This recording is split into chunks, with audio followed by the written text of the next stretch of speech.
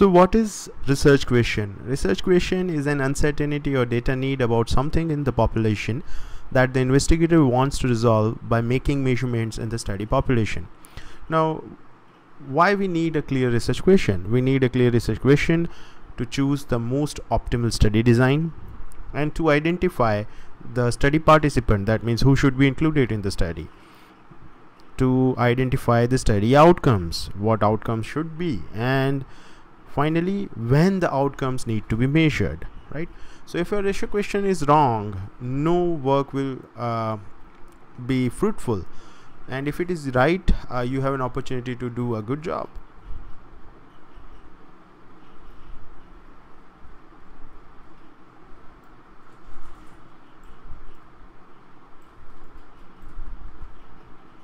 So let us look at some questions. Uh, a clear research question is required in order to facilitate the following. To choose an optimal study design, to identify the outcome that need to be measured, to decide when the outcomes need to be measured, and all of the above. Yes, it is all of the above. We need clear research questions so that we can choose a better study design.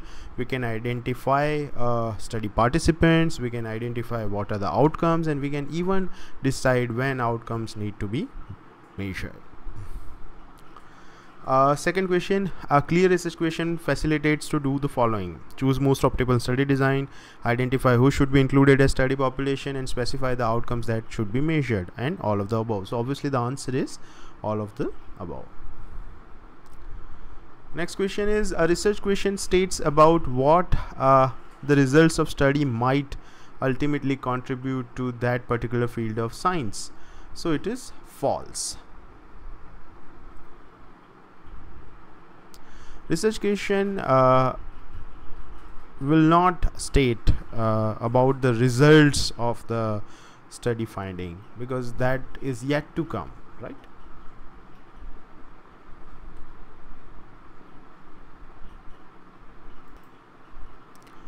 Now uh, we would like to understand that how we can translate the data needs or uncertainty into the research question Research question is all about refining your ideas into a systematic process of framing a question. And it obviously begins with data needs or general uncertainty about a health issue.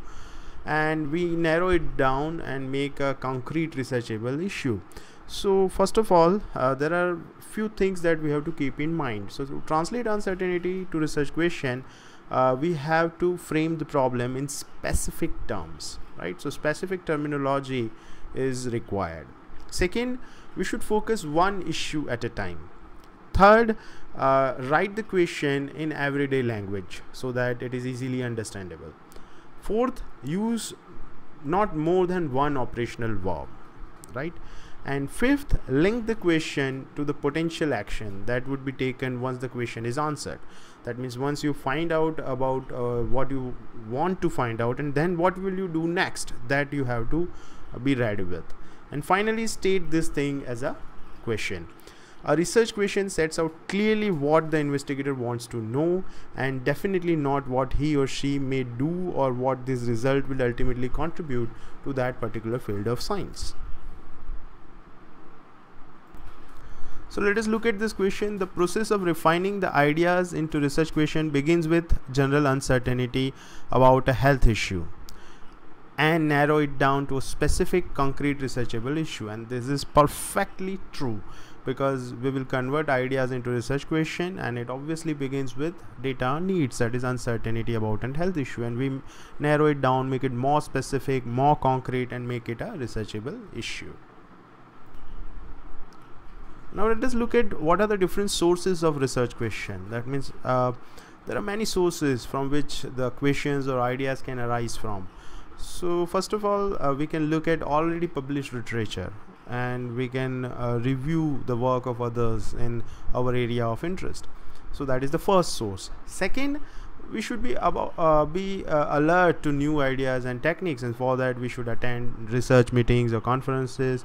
We should have a skeptical attitude about prevailing beliefs.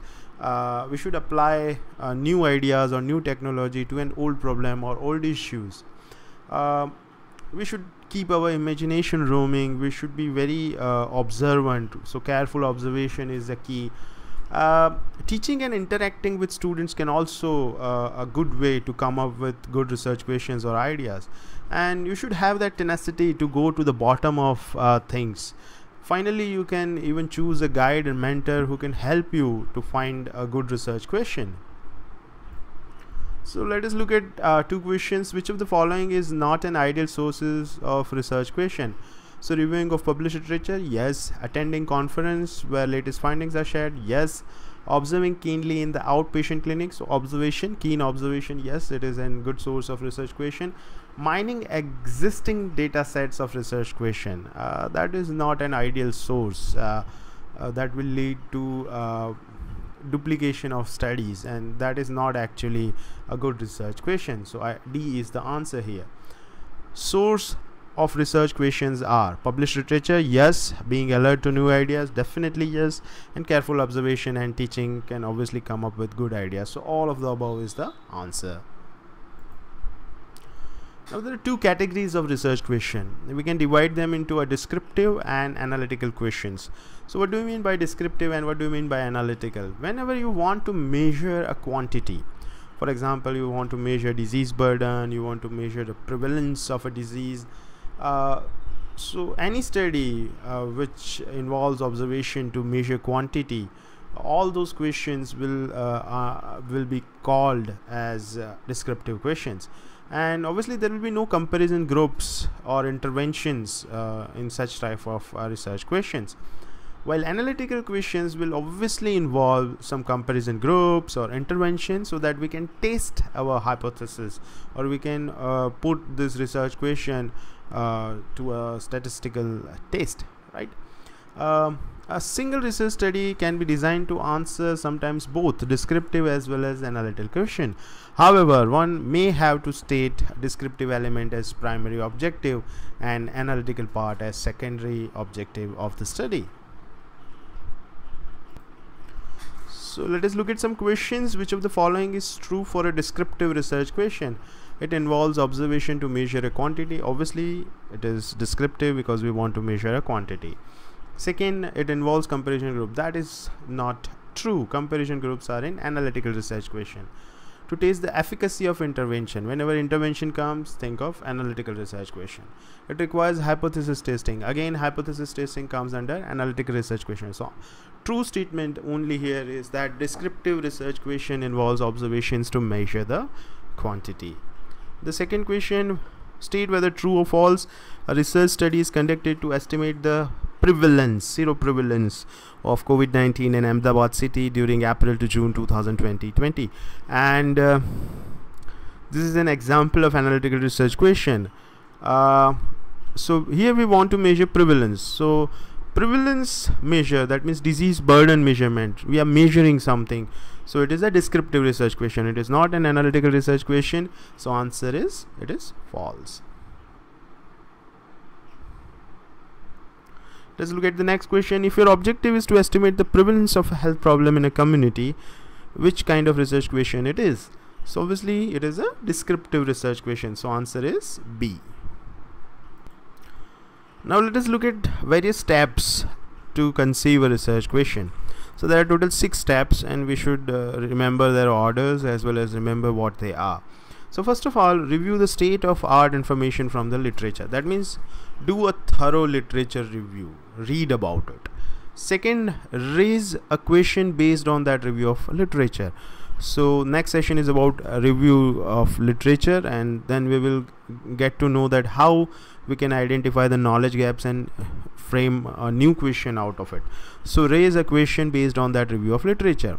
Third then decide whether it is worth investigating this research question and you can take help of your peers or colleagues about it so peer review it right? Fourth define measurable exposures and outcome. And fifth sharpen the initial question. Now narrow it down make it more specific based on the above step and finally refine the questions by specifying the further details. So let us understand the six steps one by one. Or let us take an example. For example we want to know that uh, should diabetics do exercise daily? Now let us this is an basically an idea and we will want to make it a research question. So first step literature review so first of all we have to understand what are the effect of exercise on human body to begin with. And when we do the literature review we found out that exercise reduces blood sugar level body fat. Exercise improves protection against developing complications due to diabetes. So definitely it's worth investigating further. So then we have raised a question based on our review of literature that can exercise help control blood sugar level then and then it will make sense that diabetics should do exercise daily. So it sounds better than the earlier version. So here we have to specify uh, further things. For example what do you mean by exercise and what do you mean by sugar level? So we go for peer review and we will decide whether it is worth investigating. So then we go into the literature and talk to the people uh, and who are specialized people who are expertise uh, in this area. And what is the level of reduction in blood sugar whether we should consider fasting blood sugar measurement random blood sugar or ppbs and what are the optimal time frequency intensity and duration of exercise? And what are the risks and what are the benefits of this process? And when we'll communicate with our peers then we will come to know that okay it is worth investigating so we will go for the next step. So what is our exposure? It is exercise. And what what is our expected outcome? Uh, that the parameter that we have chosen is fasting blood sugar level. So uh, what we will call it as exercise? So it has to be a predetermined physical activity uh, which is by any body movement produced by muscle and which will result in increase in energy expenditure. So we have defined our exposure and uh, at least one session of 60 minutes every day for one year has to be followed out. And we can even make it more specific that which kind of activity walking jogging cycling right? And finally fifth uh, we will further narrow it down uh, based on above steps that among diabetics does physical activity for one hour daily help in reducing the fasting blood sugar level. We will further uh, refine it in the next uh, step that we will specify the study population we will further uh, define our variables and we will choose the study design. So what is the extent of walking practiced by diabetics regularly that if we want to do a descriptive study because we want to measure. So we want to measure that what kind of uh, uh, at up to what extent the walking is practiced by diabetics. But if we want to do an analytical study then we can go for that that in order to improve the management of type 2 diabetes we wish to know that whether brisk walking by diabetics for at least one hour daily reduces fasting blood sugar level as compared to those who do not. So let us look at questions. Which of the following is not a step in framing an ideal research question? Literature review uh, yes it is a step. Peer review yes it is a step broadening the initial question we actually narrow it down. We make it more specific. So this is not a step. It is a wrong step uh, D defining measurable outcomes. Yes that obviously has to be done. So answer is C here. Following are the steps in framing research question. Review of state of art information that is review of literature yes. Second define measurable exposure and outcome yes. Raise a question yes. Decide worth investigating by peer review. So all four steps are mentioned. Now we have to choose the correct sequence in which this happens. So first of all we will do review of literature then we will raise a question then we will decide whether it is worth investigating and then we will narrow it down and we will then define the exposure and outcome. So 1 3 4 2 so option C is the correct answer. So what are the five elements of a good research question? If you want to make a good research question then uh, this question has to pass so what test? And this test comprise of uh, five elements and there is an acronym for it that is known as FINER a research question should be FINER so F stands for whether it is feasible or not. Is this research question feasible to answer?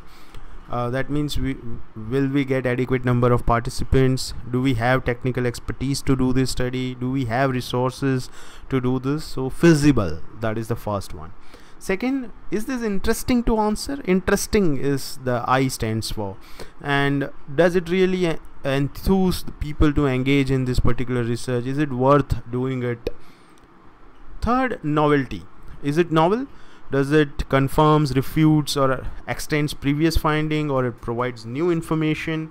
So research has to be novel. Research question should be novel. E stands for ethical. Is it ethical to do the studies uh, that means is it a research questions that ethical committee will approve? And r is relevant whether it is scientific or not whether it will advance our scientific knowledge whether it will improve the practice or uh, it will influence influence the health policy or not. So finer is the acronym feasible interesting novel ethical relevant let us look at the question which of the following characteristic base describe a good research question so f and and E. So feasible, novel, and ethical. A is the answer here, clear cut, right? Which of the following statement is incorrect? A good research question should be feasible, yes. Interesting, yes. Novel, yes. Ethical, yes. And relevant. So final, yes. Obviously, it has to be. A good research question should be in epidemiological terms. We know that it should be in clinical terms, right?